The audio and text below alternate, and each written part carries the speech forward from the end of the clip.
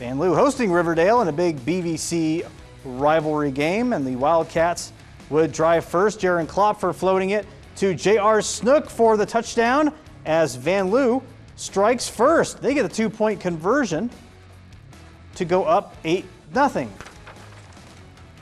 Riverdale responds quickly as Lane Morris fires a pass to Spencer Dodds, who goes for 10 yards and a first down. Then Austin Evans rumbles his way through a bunch of Wildcats for a great run. Rumbling, bumble something. Picked up a nice block there too for a second. He's brought down by his jersey. And then that was set up Riverdale for a nice run. Lane Morris is just going to keep this one.